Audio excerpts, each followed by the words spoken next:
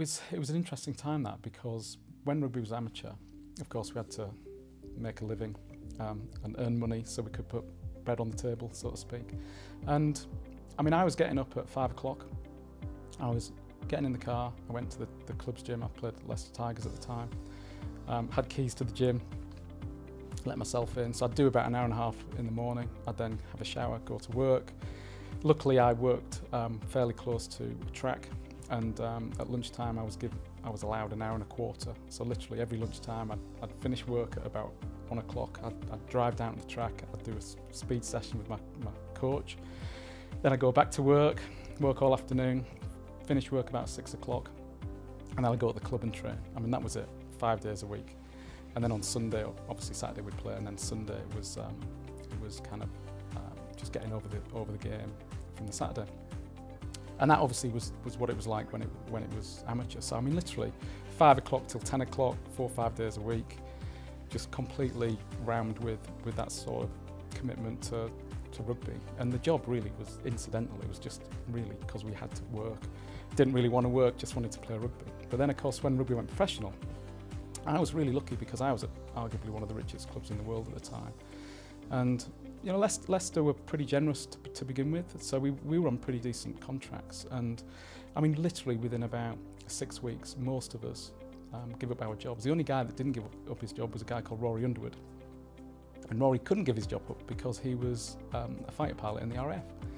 So he wasn't able to do it, but pretty much everyone, everyone, everyone else packed up the jobs.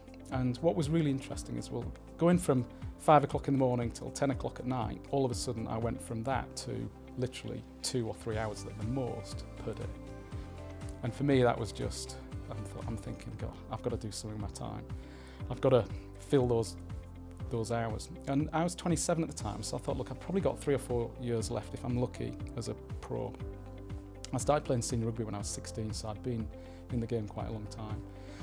So I thought, well, what, what do I do? I thought, well, look, if I've only got three or four years, I need to set up my own business. And I'd been relatively successful as a sales and marketing manager for a large commercial insurance broker in Leicester at the time.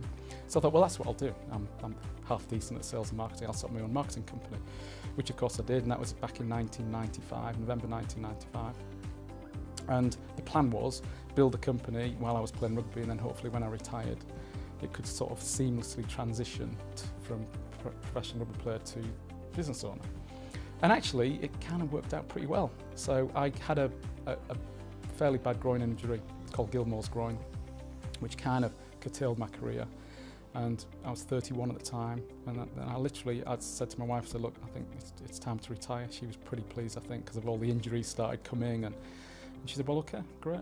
Um, the business is, is going well, great. So it literally, the transition was, was great for me, and it's something that obviously this day and age, the guys don't have that really because you know they're full-on professionals, and it doesn't matter what sport is it really because they they train hard, they work hard. It's 24/7 job really being a professional sportsman, and uh, they don't really have time now to, to do what I what I did. And so most people retire, and then it's like, cranky, what do I do now? Those that are a little bit more savvy will will prepare a bit like I did, but I think a lot of people get to a point where it's like crikey, I've, I've finished as a, as a professional athlete, what do I do now? Particularly those that get a bad injury that obviously just comes out of the blue, then you've got no chance to plan, which I feel for those guys and girls. But I think generally speaking, I, I was uh, in a fortunate position because I played the amateur sport and I played as a professional. And none of the guys now will ever have that experience.